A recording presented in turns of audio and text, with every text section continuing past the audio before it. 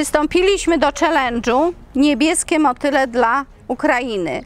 Zadanie nasze wykonaliśmy. Iskierka dla Ukrainy. Z ogromną wdzięcznością dziękujemy Szkole Podstawowej w Szewni za, za nominację naszej placówki.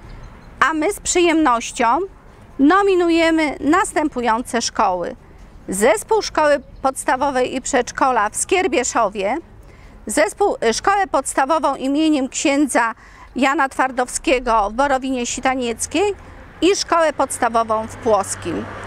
Dziękuję bardzo. Wojnie stop!